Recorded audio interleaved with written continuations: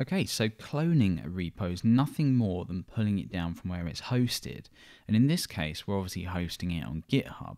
Now you'll find this link within your repository and you'll need this. So grab this link and copy it to your clipboard.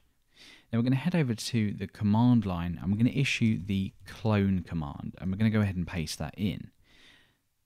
This will automatically place the repo files in a directory called hello world. However, we can specify the directory name to clone this into if we want to. Let's just check this out in our text editor first. You can see that I've got the uh, folder that I'm currently within open here, and that's then cloned hello world. Now, if I did want to clone it into a directory of my choosing, I just type it after. So, for example, I could just choose hello, and that would clone it into the folder hello. Let's just go ahead and get rid of this.